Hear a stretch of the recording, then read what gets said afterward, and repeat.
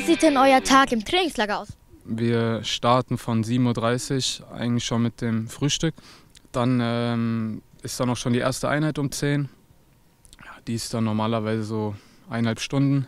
Natürlich direkt nach dem Training, Regeneration ist ganz, ganz wichtig. Dann haben wir halt Mittagspause und um äh, 15.30 Uhr geht es dann äh, weiter mit der zweiten Einheit. Und dann haben wir bis um 23 Uhr äh, ja, freie Zeit, aber für Behandlung, Massagen. Es hört sich an, als wäre das ziemlich hart, wie ihr trainiert. Es war nicht unser Anspruch und ist auch oder ist nicht unser Anspruch und ist auch nicht unser Ziel gewesen, ähm, dass wir am Ende der Hinrunde äh, dastehen, wo wir jetzt äh, stehen. Wir haben viel zu arbeiten, viel zu verbessern und äh, da ist jede Einheit äh, sehr, sehr wichtig. War Fußballprofi immer dein Traumberuf oder wolltest du auch mal was anderes werden? Also ich glaube, seitdem ich äh, klar denken kann, war Fußballprofi schon äh, mein, mein Traum.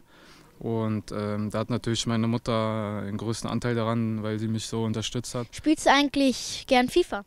Ja, wir haben jetzt so eine kleine Gruppe von ähm, Stefan Kutschke und äh, Marcel Gauss jetzt hier im Trainingslager. Äh, da zocken wir schon ganz gern. Wer ist eigentlich dein Lieblingsspieler? Es gibt da nicht einen bestimmten, sage ich mal. Ich gucke mir von äh, mehreren Spielern was ab. Was bei Cristiano Ronaldo zum Beispiel die Professionalität angeht. Natürlich auch sein, sein, seine Leistung auf dem Platz. Ich mag auch ganz gern äh, Kevin De Bruyne oder von früher noch Ronaldinho ähm, in seinen guten Zeiten. Ich spiele ja auch in ähm, der U11 von Ingolstadt. Könntest du mir irgendeinen Tipp geben, was ich beachten oder worauf ich aufpassen soll?